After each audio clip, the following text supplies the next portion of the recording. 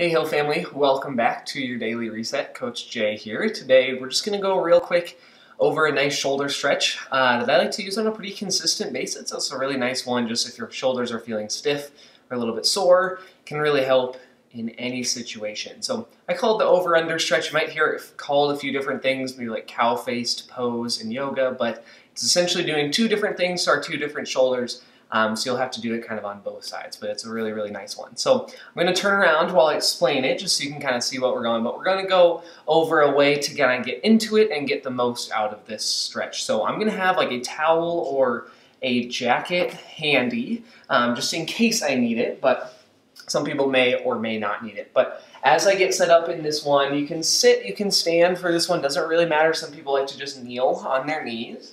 But with Whichever arm I'm going to go overhead with, I'm going to reach that arm up through the ceiling. And then with my other hand, I'm going to kind of grab my forearm on that side and then try to reach that arm up as high as I can. So like really punch up into the ceiling.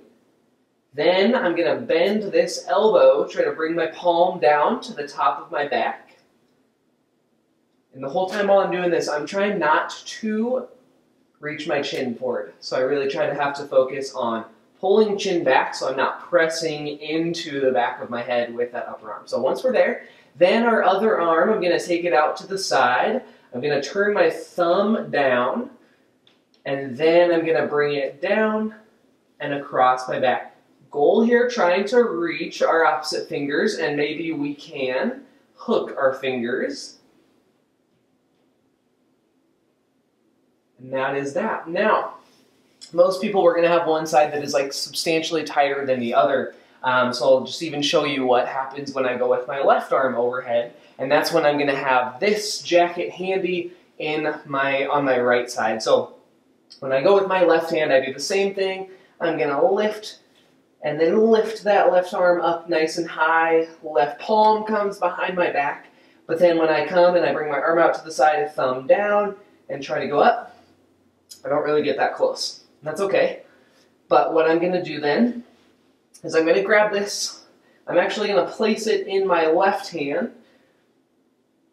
And then my right hand can come and grab on to that jacket. And then as I progress, I can start to walk hands a little bit closer together. So with or without the jacket, whatever you need, I'd like to say spend about two minutes each side in that pose. You'll start to see pretty quick progress with this. Hands start to get close together. Maybe you'll be able to kind of interlace fingertips eventually. Um, and that's the goal. It's just so that we can have big range of motion in our shoulders. So enjoy, and I will see you guys again real soon.